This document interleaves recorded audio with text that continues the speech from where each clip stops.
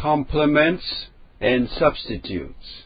Two goods, say A and B, are complements if using more of good A require the use of more good B.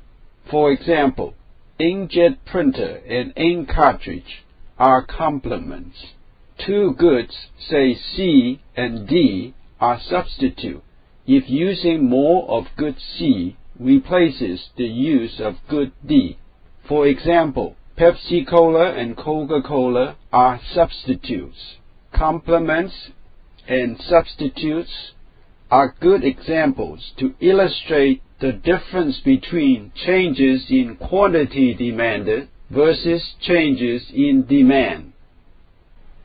Here we have the demand curves for two complementary goods, A and B.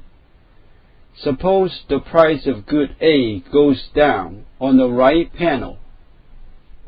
The law of demand tells us that more of good A will be purchased by moving down the demand curve. In other words, the quantity demanded for good A will increase.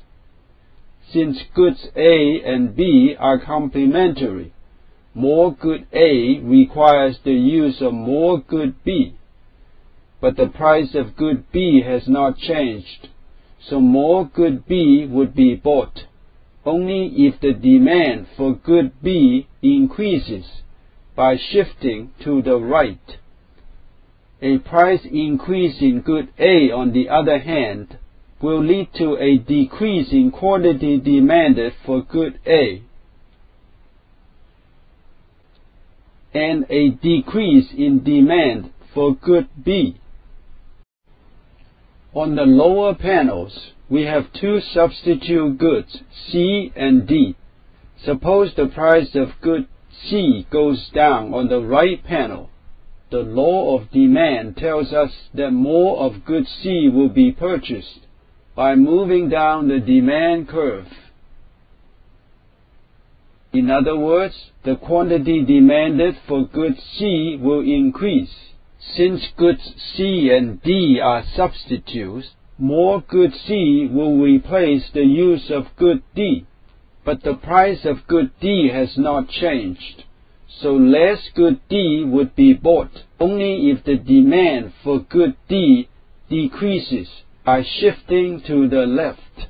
A price increase in good C, on the other hand, will lead to a decrease in quantity demanded of good C and an increase in demand for good D. To summarize, for complements, when the quantity demanded for good A goes up, demand for good B goes up, up, up, down, down.